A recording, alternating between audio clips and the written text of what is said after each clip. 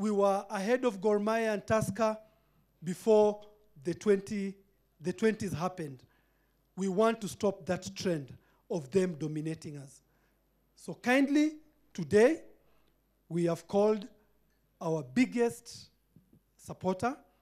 We are here with where it all started.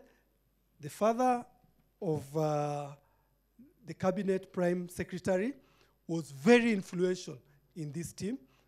And today we want, as a community, and we discussed this with U45, we want to showcase that we have the entire community behind us. So it is upon you to make sure you make this community proud.